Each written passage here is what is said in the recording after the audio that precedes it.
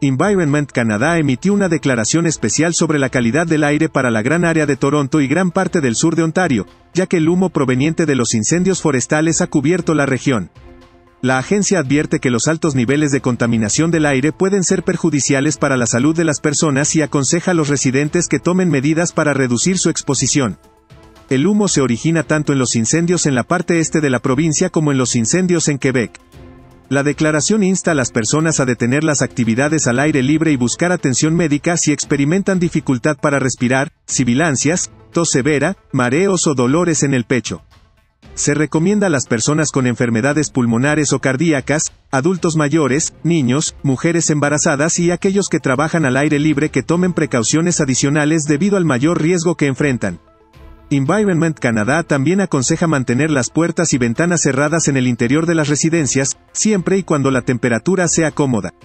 Mientras tanto, la provincia de Ontario ha experimentado una creciente cantidad de incendios forestales, con un incendio activo cerca de Centennial Lake en el municipio de Greater Madawaska. Las autoridades informan que este incendio es uno de los 21 nuevos que se han iniciado en la provincia desde el fin de semana. Hasta el momento, Canadá ha enfrentado una temporada de incendios especialmente intensa, con más de 424 incendios en todo el país, más de 250 de los cuales se consideran fuera de control. Para NorTV News, informó Alejandro Mateus. Hola amigos, mi nombre es Cristian Santamaría, representante de Direct Nissan. Direct Nissan tiene el mejor servicio al cliente en todo el área de Toronto.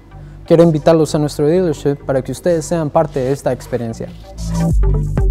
Estamos ubicados en el 2290 en Battlefield Road en Mississauga.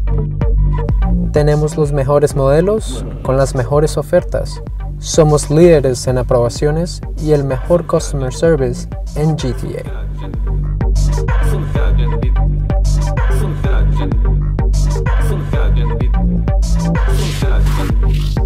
Ya lo saben, comuníquense conmigo al número que aparece en pantalla y síganme en mis redes sociales.